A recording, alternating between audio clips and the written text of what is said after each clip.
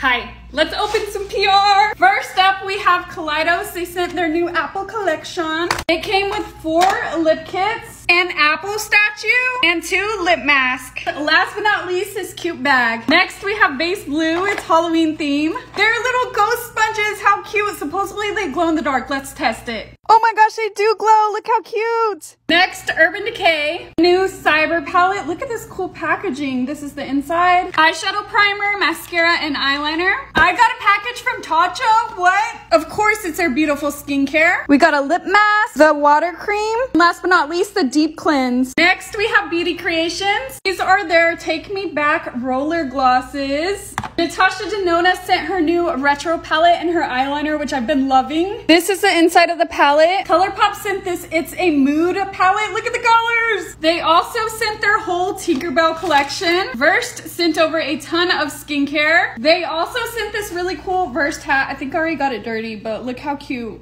Rare Beauty sent over their new brow products, which I used in my last video, and also their mascara. Hard Candy sent over a ton of different makeup to try out. Another package from ColourPop, they sent over all these lippies. Next, we have IT Cosmetics. We got two of their new mascara, two makeup erasers, two of their Bye Bye Pores. I've already been using this one. Watch my video on it. And two Best Friend bracelets. Too bad I don't have friends.